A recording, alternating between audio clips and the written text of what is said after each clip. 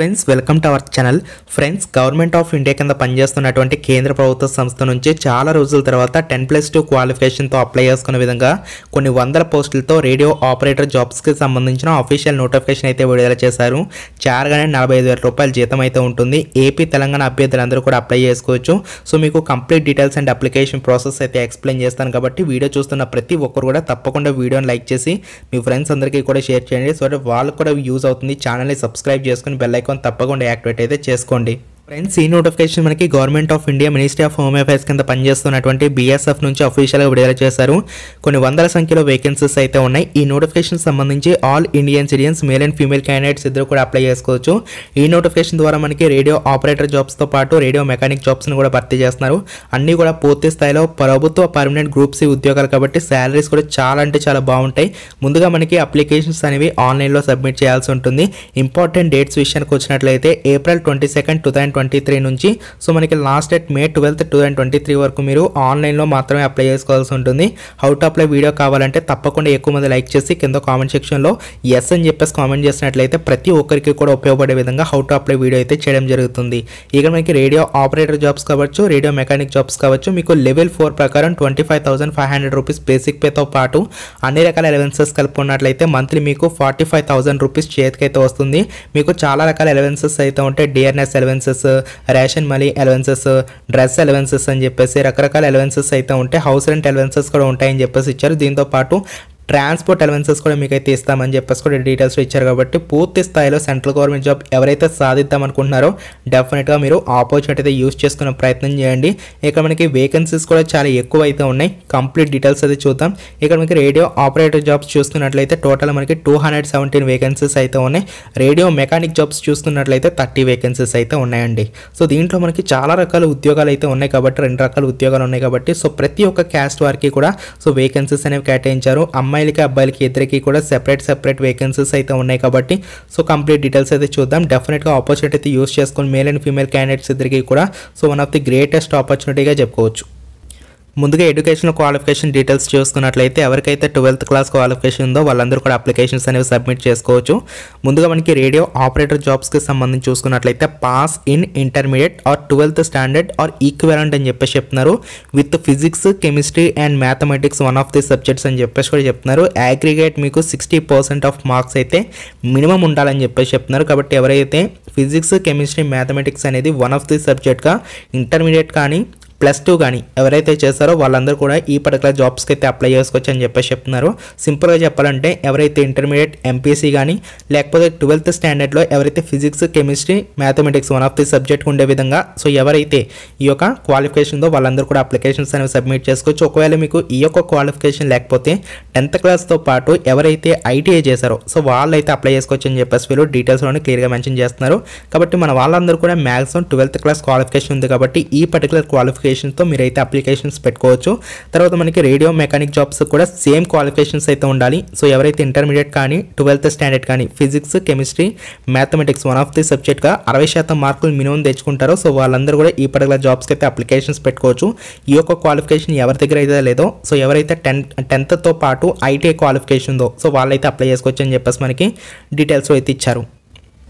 Guys మనకి age limit విషయానికి వచ్చినట్లయితే జనరల్ క్యాండిడేట్స్కి సంబంధించి minimum eighteen to maximum twenty five వరకు ఇచ్చారు. ఓబీసీ అభ్యర్థులకి అయితే ఎయిటీన్ టు ట్వంటీ ఎయిట్ వరకు ఇచ్చారు. ఎస్సీ ఎస్టీ అభ్యర్థులకి అయితే అప్ టు థర్టీ వరకు అప్లై చేసుకోవచ్చు అని చెప్పేసి మనకి డీటెయిల్స్లో ఇచ్చారు.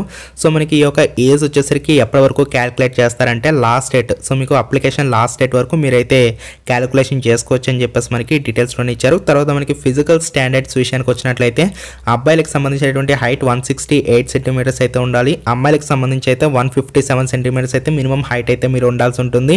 చెస్ట్ విషయానికి వచ్చినట్లయితే ఓన్లీ అబ్బాయిలకి మాత్రమే క్యాలిక్యులేట్ అయితే చేస్తారు. మినిమం ఎయిటీ సెంటీమీటర్స్ అయితే ఉండాల్సి ఉంటుంది. ఎక్స్పాన్షన్ చేసిన తర్వాత మీకు మినిమం ఫైవ్ సెంటీమీటర్స్ అయితే ఎక్స్పాన్షన్ అయితే ఉండాల్సి ఉంటుంది.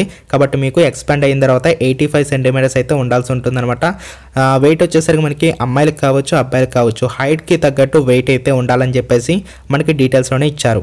ఫ్రెండ్స్ మనకి సెలక్షన్ ప్రాసెస్ విషయానికి వచ్చినట్లయితే టోటల్ మనకి త్రీ ఫేజెస్ అయితే ఉంటాయి. ఫస్ట్ ఫేజ్ ఏంటంటే మీకు రిటర్న్ ఎగ్జామినేషన్ అయితే కండక్ట్ చేస్తారు. ఆ యొక్క డేట్ కూడా మనకైతే ఇచ్చున్నారు. Fourth June twenty twenty three ఆ రోజు సండే మాట. సో మీకు మార్నింగ్ సెక్షన్లో వచ్చేసరికి రేడియో ఆపరేటర్కి సంబంధించినటువంటి ఎగ్జామ్ అయితే ఉంటుంది. ఆఫ్టర్నూన్ సెక్షన్లో మీకు రేడియో మెకానిక్ జాబ్స్కి సంబంధించినటువంటి ఎగ్జామినేషన్ అయితే కండక్ట్ చేస్తారు. సో ఎవరైతే క్వాలిఫై అయినటువంటి క్యాండిడేట్స్ ఉన్నారో వాళ్ళందరికీ కూడా సెకండ్ ఫేజ్ అయినటువంటి ఫిజికల్ స్టాండర్డ్ టెస్ట్ అనేది కండక్ట్ చేస్తారన్నమాట. తర్వాత మీకు డాక్యుమెంట్ వెరిఫికేషన్ ఇవన్నీ కూడా చేస్తారు. అయితే రేడియో ఆపరేటర్ జాబ్స్కి ఎవరైతే అప్లై చేస్తారో వాళ్ళకి మాత్రం సెపరేట్గా మీకు ఈ యొక్క dictation test paragraph reading test అంటే పారాగ్రాఫ్ చూపించి దాన్ని అయితే చదవమంటారు. సో ఆ యొక్క టెస్ట్ అయితే మీకు ప్రత్యేకంగా కండక్ట్ చేస్తారు. తర్వాత మీకు థర్డ్ ఫేజ్ అయినటువంటి మెడికల్ ఎగ్జామినేషన్ అయితే కండక్ట్ చేస్తారు. ఫైనల్ రిజల్ట్స్ అనేవి ఇచ్చేసిన తర్వాత పోస్టులకు సంబంధించి ఎంపిక అయితే చేస్తారు. ఇప్పుడు దీనికి సంబంధించి ఎగ్జామినేషన్ ప్యాటర్న్ ఎలా ఉంటుందో చూసే ప్రయత్నం చేద్దాం. చూడండి ఇక్కడ మనకి సెలక్షన్ ప్రాసెస్లో భాగంగా ఫస్ట్ ఫేజ్ అయినటువంటి రిటర్న్ ఎగ్జామినేషన్ మీకు ఓఎంఆర్ బేస్డ్గా మీకు ఉంటుందని చెప్పేసి చెప్తున్నారన్నమాట. సో ఇందులో మనకి టోటల్గా హండ్రెడ్ క్వశ్చన్స్ అయితే ఉంటాయి. టూ హండ్రెడ్ మార్క్స్ సంబంధించి ఇందులో మనకి టోటల్గా ఫోర్ పార్ట్స్ అయితే ఉంటాయి. Physics mathematics chemistry English and జీకేకి సంబంధించినటువంటి అంశాలు అయితే ఉంటాయని చెప్పేసి మనకి ఇక్కడ డీటెయిల్స్ ఉన్నాయి. క్లియర్గా ఇచ్చారు. సో మనకి టెన్ ప్లస్ టూ లెవెల్లోనే మనకి పేపర్ అయితే రావడం జరుగుతుంది. ఇంగ్లీష్లోనే మీకు పేపర్ అయితే ఉంటుందని చెప్పేసి కూడా ఇక్కడ మనకి డీటెయిల్స్లోనే క్లియర్గా మెన్షన్ చేయడం జరిగింది. దీనికి సంబంధించి ఎన్ని శాతం మార్కులు తెచ్చుకోవాలని చెప్పేసి చూసుకున్నట్లయితే జనరల్ ఓబీసీ అండ్ ఈడబ్ల్యూఎస్ అభ్యర్థులు ఎవరైతే ఉన్నారో వాళ్ళకి వచ్చేసి ముప్పై ఎనిమిది శాతం మార్కులు తెచ్చుకోవాలి. ఎస్సీ ఎస్టీ క్యాండిడేట్స్ వచ్చేసరికి మినిమం ముప్పై మూడు శాతం మార్కులు అయితే తెచ్చుకోవాలని చెప్పేసి మనకి ఇక్కడ డీటెయిల్స్లోనే క్లియర్గా మెన్షన్ చేయడం జరిగింది. ప్రతి క్వశ్చన్ కూడా మీకు టూ మార్క్స్ అయితే క్యారీ అవుట్ అయితే అవుతూ ఉంటాయి. నెగిటివ్ విధానం కూడా ఉంది. వన్ ఫోర్త్ మీకు నెగిటివ్ విధానం ఉంది. అంటే zero point two five negative marks అయితే ఉన్నాయని చెప్పేసి మనకి ఇక్కడ డీటెయిల్స్లోనే క్లియర్గా మెన్షన్ చేయడం జరిగింది. సో దీంట్లో క్వాలిఫై అయినటువంటి క్యాండిడేట్స్ అందరికీ కూడా సెకండ్ ఫేజ్ అయినటువంటి ఫిజికల్ స్టాండర్డ్ టెస్ట్ అయితే కండక్ట్ చేస్తారు. దాంట్లో అంశాలు చూసుకున్నట్లయితే ఫస్ట్ ఆఫ్ ఆల్ చూడండి మేల్ క్యాండిడేట్ సంబంధించి సో ఇక్కడ మనకి హైట్ చెస్ట్ వెయిట్ ఇవన్నీ కూడా క్యాల్కులేషన్ అయితే చేస్తారన్నమాట. సో అలాగే మనకి ఏంటంటే రన్నింగ్ కూడా ఉంటుంది. సో మీకు సిక్స్ అండ్ హాఫ్ మినిట్స్ అయితే టైం ఇస్తారు. వన్ పాయింట్ సిక్స్ కిలోమీటర్స్ అయితే మీరు రన్ చేయాల్సి ఉంటుంది. లాంగ్ జంప్ వచ్చేసరికి మనకి త్రీ ఛాన్సెస్ అయితే ఇస్తారు లెవెన్ ఫీట్ అయితే జంప్ చేయాలి. హై జంప్ వచ్చేసరికి three and half feet three chances ఇస్తారు. అమ్మాయిలకి ఏ విధంగా ఉంటుందంటే ఎయిట్ హండ్రెడ్ మీటర్స్ అయితే రన్ ఉంటుంది. ఫోర్ మినిట్స్ అయితే టైం ఇస్తారు. అలాగే త్రీ ఛాన్సెస్లో నైన్ ఫీట్ అయితే లాంగ్ జంప్ అయితే చేయాల్సి ఉంటుంది. అలాగే త్రీ ఛాన్సెస్లో త్రీ ఫీట్ సంబంధించి సంబంధించినటువంటి హై జంప్ కూడా మీరైతే చేయాలి. వన్స్ ఇది కంప్లీట్ అయిపోయిన తర్వాత మీ యొక్క డాక్యుమెంటేషన్ అంతా కూడా కంప్లీట్ చేస్తారు. డాక్యుమెంటేషన్ అంతా కూడా కంప్లీట్ అయిపోయిన తర్వాత దీనికి సంబంధించినటువంటి డిక్టేషన్ టెస్ట్ సో ఎవరైతే రేడియో ఆపరేటర్ జాబ్స్కి సంబంధించి పెడతారో సో వాళ్ళకి మాత్రం ఈ యొక్క డిక్టేషన్ టెస్ట్ అలాగే సో మనకి పారాగ్రాఫ్ రీడింగ్ కూడా మనకైతే చెక్ చేస్తారన్నమాట. ఓన్లీ క్వాలిఫైయింగ్ ఇన్ నేచర్ అని చెప్పేసి మనకి ఇక్కడ క్లియర్గా అయితే మెన్షన్ చేయడం జరిగింది. సో ఈ విధంగా మనకి సెలక్షన్ ప్రాసెస్ ఉంటుంది. ఇవన్నీ కూడా కంప్లీట్ అయిపోయిన తర్వాత ఫైనల్గా మీకు మెడికల్ చెక్ చెకప్ అయితే ఉంటుందన్నమాట. మెడికల్ చెకప్ కూడా కంప్లీట్ అయిపోయిన తర్వాత మనకి ఐసైట్ ఇవన్నీ కూడా చెక్ చేస్తారు. చెక్ చేసేసుకొని ఎంపిక అయితే చేస్తారు. సో గాయస్ దీనికి సంబంధించి ఎప్పటి నుంచి అప్లై చేసుకోవచ్చు అంటే ఆల్రెడీ మనకి అప్లికేషన్స్ అయితే స్టార్ట్ అయిపోయినాయి. ఏప్రిల్ ట్వంటీ సెకండ్ నుంచి మే ట్వెల్త్ వరకు మీరు ఆన్లైన్లో మాత్రమే అప్లై చేసుకోవాలి. అఫీషియల్ వెబ్సైట్ లింక్ కూడా మీకు డిస్క్రిప్షన్లోను కామెంట్ సెక్షన్లో అయితే పిన్ చేస్తాను. దీనికి సంబంధించి అప్లికేషన్ ఫీజ్ డీటెయిల్స్ చూసుకున్నట్లయితే చూడండి మనకి జస్ట్ హండ్రెడ్ రూపీస్ అనేది అప్లికేషన్ ఫీజు అయితే ఉంది. అది కూడా ఎస్సీ ఎస్టీ అభ్యర్థులకి ఎటువంటి అప్లికేషన్ ఫీజు అయితే లేదు. సో మీరు ఫ్రీగానే అప్లికేషన్స్ అనేవి సబ్మిట్ చేసుకోవచ్చు అని చెప్పేసి మనకి ఇక్కడ డీటెయిల్స్ అనేవి క్లియర్గా అయితే మెన్షన్ చేయడం జరిగింది. గాయస్ ముఖ్యమైన పాయింట్ ఏంటంటే కనుక candidates applying for both the post అంటే రేడియో ఆపరేటర్తో పాటు రేడియో మెకానిక్ జాబ్స్కి ఎవరైతే అప్లై చేస్తున్నారో సో వాళ్ళు వచ్చేసరికి apply online for each post separately సెపరేట్గా మీరు అప్లికేషన్స్ పెట్టుకోవాలి. అయితే మనం ఏదైతే అప్లై చేస్తున్నటువంటి సెంటర్ ఉంటుందో సెంటర్ మాత్రం మీరు సేమ్ సెంటర్ అయితే చూస్ చేసుకోవాలి. Can choose only one centre అని చెప్పేసి చెప్తున్నారు. ఆ యొక్క సెంటర్స్ ఏంటంటే ఇక్కడ మనకి పైన ఇచ్చారండి. చూడండి ఇక్కడ మనకి ఆ యొక్క సెంటర్స్ ఎగ్జామినేషన్ సెంటర్స్ అన్ని కూడా మనకైతే పైన ఇచ్చున్నారనమాట సో ఆ యొక్క ఎగ్జామినేషన్ సెంటర్ అయితే మీరు ఒకటే ఎగ్జామినేషన్ సెంటర్ అయితే పెట్టుకోవాలి. లేకపోతే మనకి రిజెక్ట్ అయ్యే ప్రమాదం అయితే ఉందని చెప్పేసి ఇస్తున్నారు. ఎందుకంటే సేమ్ డేట్న మనకి ఎగ్జామ్ అనేది మార్నింగ్ అండ్ ఆఫ్టర్నూన్ సెషన్స్లో అయితే కండక్ట్ చేస్తున్నారు కాబట్టి సో మీరు డిఫరెంట్ డిఫరెంట్ సెంటర్స్ పెట్టుకున్నట్లయితే అప్పుడు మీరు వెళ్ళడానికి అయితే ఇబ్బంది పడతారు కాబట్టి సో సేమ్ డేట్న పెడుతున్నారు కాబట్టి సో సేమ్ సెంటర్ అయితే మీరు చూస్ అనేది చేసుకోవాల్సి ఉంటుందని చెప్పేసి మనకి ఇచ్చారు.